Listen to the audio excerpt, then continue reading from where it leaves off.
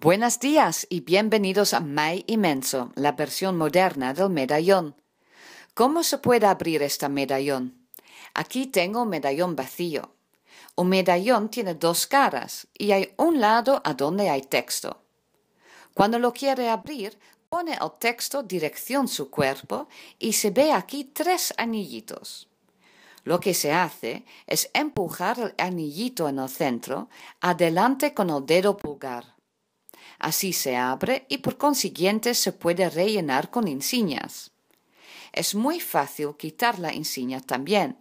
Usted puede utilizar otra vez su dedo pulgar.